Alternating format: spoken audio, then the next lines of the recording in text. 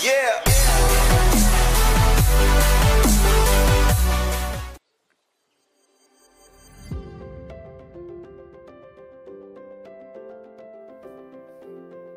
Hi guys, welcome to another vlog. So today I decided to give my mommy a break from the kitchen, so I decided to cook. So yeah, I am trying to make biryani for the first time. So yeah, I'm making the ginger and garlic paste for the biryani. And then I boil some rice. So now I'm gonna strain it and leave it aside.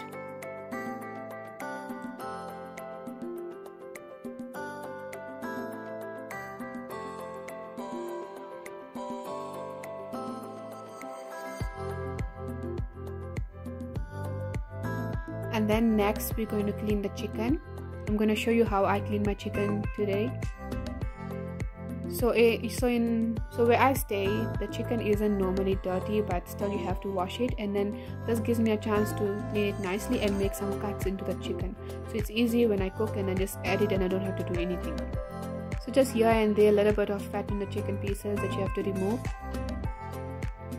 A little bit, little bit of the the parts that we don't eat so I have to remove that as well. So it's easy when you use a knife and you just clean and then it's perfect to be cooked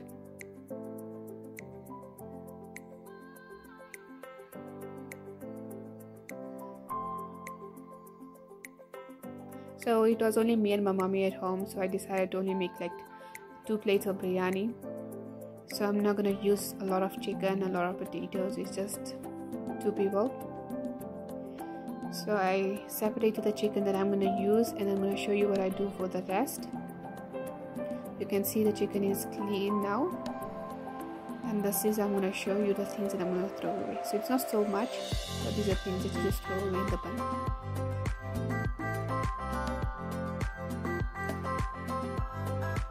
now that's the remaining chicken that I'm to freeze so I'm to show you how I freeze it. So I take any plastic bag you can take any airtight bag as well. And then I just place all the chicken in there. I don't like touching the chicken raw so I just put something in my hands. So then I, I place the chicken inside. And I close the top.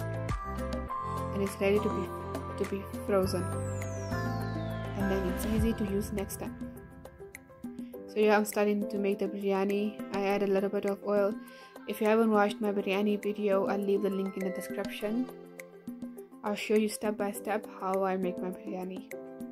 Yeah, I'm just showing you roughly how I do the things. So I added whole spices, ginger and garlic.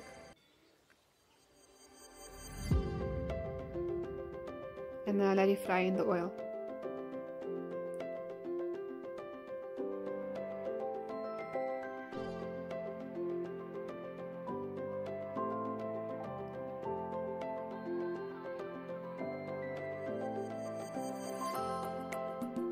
Then a little bit of water and then just cover it. Making biryani is requires a lot of steps so it takes very long to make like one hour maybe even one and a half hours.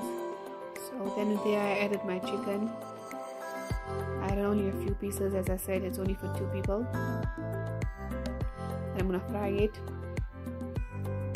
Sometimes it's good to give your mummies a break from the kitchen stay in the kitchen 24 7 so sometimes you just you just let them relax and you do the cooking so i also decided to make something sweet. I decided to make some sheer khurma.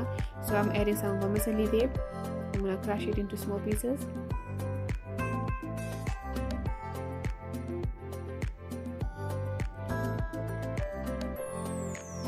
And then i'm gonna add a little bit of water so that is the vermicelli can get a little bit soft in my house we prefer eating sweet after we have our main meal.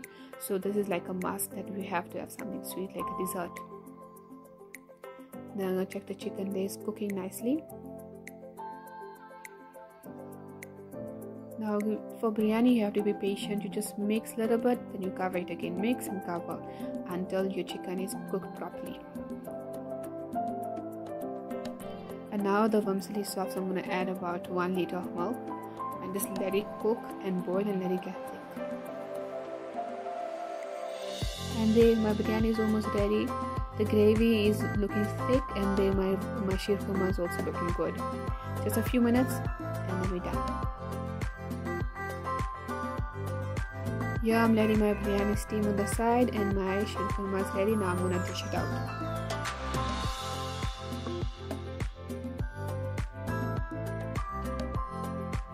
gonna add garnish it with some almonds and it's ready to be served. I'm gonna place it in the fridge for a few minutes then serve it. Now after 15 minutes my biryani is done. You can see the smoke and it smells so delicious. So mix it a bit so the masala can go all over the rice and then we dish it out.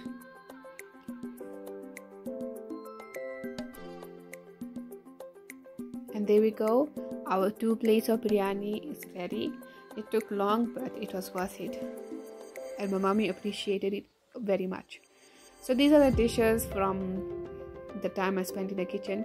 This is something that is always that whenever I make the video, there's always dishes, and this is not something that you guys see every day.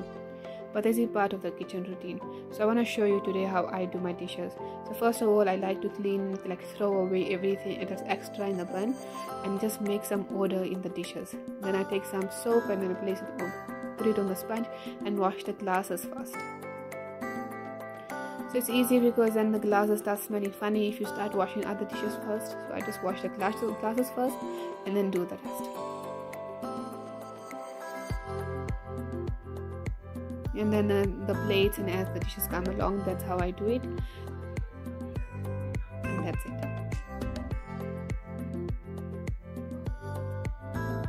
Feel like this should be shown in the videos also because this is also part of the work. We just show you the recipe and then this is something that is behind the scenes. When you make the recipe, this is and you leave it like that, then it's not like something is complete. So this is like the complete and last step of your recipe. And then you just clean up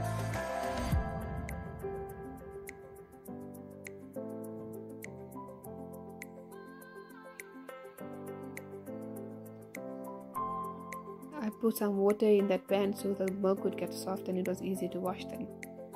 Because as the milk dries, then it's very difficult to wash.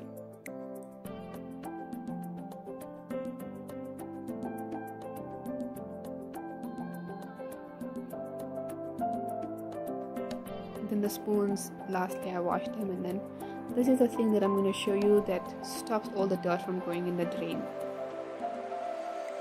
So this is I am this is what I empty out in the bun. All the dirt goes in the bun, and then I clean it again place it back in. This stops uh, is from any dirt from the food from going in the drain and blocking it. So it's something really good to have in your basin. So I clean the basin all around and let it shine. This is my favorite part of the dishes, the end part and then with a cloth I clean all the soap off the shelf next to it where I place my dishes. So it's easier. A clean kitchen is a happy kitchen. Thank you so much for watching this vlog and I'll see you guys next time. Please do like share and subscribe